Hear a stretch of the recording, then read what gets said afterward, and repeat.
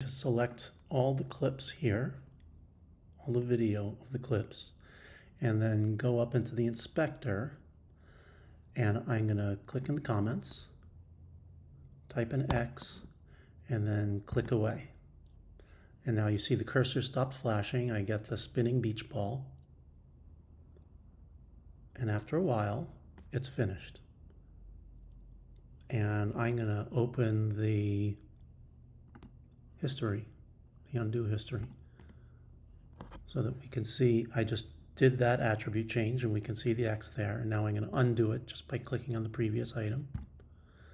And again, we're going to see how it takes a long time. And then finally does finish updating and the X is gone.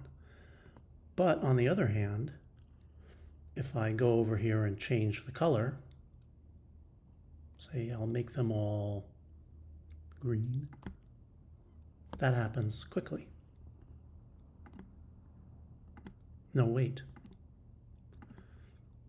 Now there is one one bug with the color, which if I they're all green right now and then I click to undo that, and you can see that even though I've undone the attribute change, I still see the clips are green and that won't update until I do something, as you saw, like some event,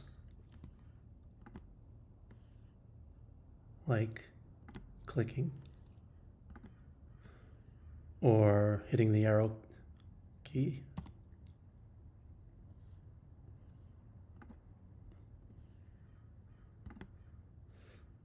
And so that's a separate bug.